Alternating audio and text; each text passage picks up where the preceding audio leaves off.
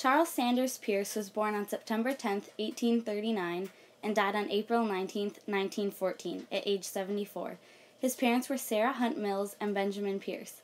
Benjamin Peirce was a scientist and a professor of mathematics at Harvard. He was also the first serious research mathematician. Peirce was known as the father of pragmatism. He was a logician, a philosopher, and a scientist. He became fascinated with logic at the age of 12.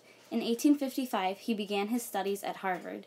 He believed in the scientific method, and at Harvard he started a lifelong friendship with the philosopher and psychologist William James, who greatly supported him for most of his life. Some of his major works are Upon the Logic of Mathematics, Upon Logical Comprehension and Extension, The New Elements of Mathematics, Reasoning and the Logic of Things, Pragmatism as a Principle and Method of Right Thinking. Charles Peirce's philosophy is pragmatism, and pragmatism is that for any statement to be meaningful, it must have practical bearings. First, you infer, then you experience things, making decisions based on facts, not just ideals. Um, pragmatists are allowed to change their mind, but they can only change their mind when they gain insight and knowledge on something. And idealists must always stick with their own original opinion.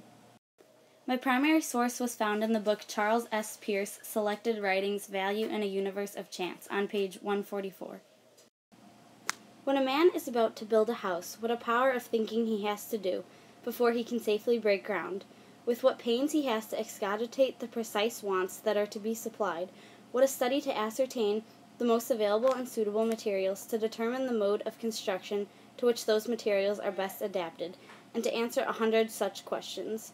Now, without riding the metaphor too far, I think we may safely say that the studies preliminary to the construction of a great theory should be at least as deliberate and thorough as those that are preliminary to the building of a dwelling house. So now I'm going to break down the primary source. In the beginning of this paragraph, it's just talking about comparing the building of a house to Peirce's idea of pragmatism.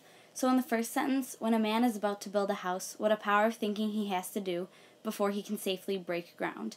That's just saying that literally when you are building a house, you need to have plans for it before you go and actually break ground to start building the house. You need to have plans for it ahead of time and blueprints and ideas of what you're going to do before that.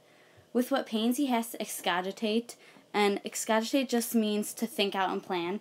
So, with what pains he has to excogitate the precise wants that are to be supplied, um, that's just saying that you need to plan out everything and everything has to be precise so that it all turns out right. What a study to ascertain, and ascertain means to make sure of, um, the most available and suitable materials to determine the mode of construction to which those materials are best adapted, and to answer a hundred such questions. Um, that just means to make sure that you have all the materials that you need, um, that you know the way that you're going to construct everything and that you've already answered all the questions that could end up coming up later on. So you've already prepared for everything and yeah, that goes back to the idea of pragmatism. Now, without writing this metaphor too far, so now we're actually getting into the idea of pragmatism, I think we may safely say that the studies preliminary, so the studies that are done in preparation to the construction of a great theory, should be at least as deliberate and thorough as those that are preliminary to the building of a dwelling house. And that's just saying that with the comparison of building a house and preparing to actually build a house, that is the same as pragmatism for everyday life and just coming up with great theories that you need to have everything done in preparation and that first you infer and then you experience things and you make decisions based on facts not just ideas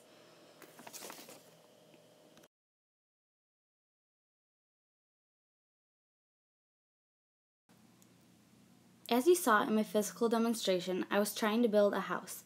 But before I knew where to put the piece of wood, I had to look at my blueprints. Just like pragmatism, everything is planned out before and everything has a reason. There's a logic behind every decision that you make, and it's all planned out ahead of time, which is what I was doing in the video, checking my blueprints that were planned ahead of time before I was going to actually build the house. Okay, now going over pragmatism one more time. Pragmatism is for any statement to be meaningful, it must have practical bearings. You have to first infer things and then you experience them after. Um, pragmatism is all about facts and logic. You make decisions based on facts, not just ideas. There has to be logic behind all the decisions that you make. Pragmatists are allowed to change their mind when they gain insight and knowledge, and idealists must always stick with their original opinion.